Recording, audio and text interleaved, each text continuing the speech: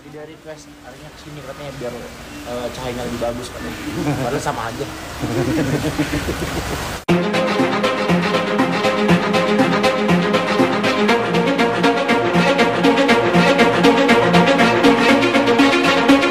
Terus jangan lupa di like, komen, dan subscribe terus di share juga ya.